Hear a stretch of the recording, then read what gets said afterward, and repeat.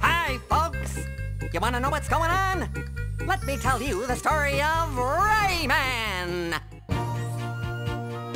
In Rayman's world, nature and people live together in peace.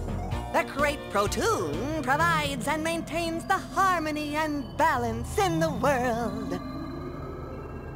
Sorry, folks. This apparently can't last.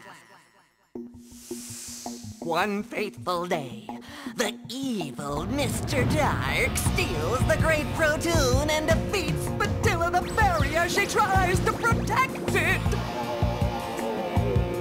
The Electoons, who used to gravitate around it, lose their natural stability and scatter all over the world!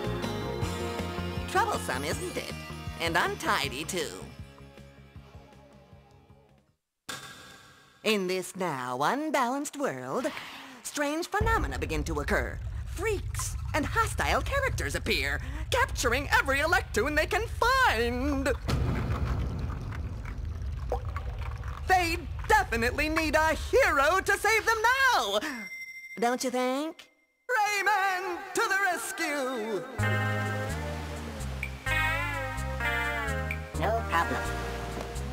And free all of the Electoons, Rayman, and bring back the Great Protoon from its mysterious kidnapper.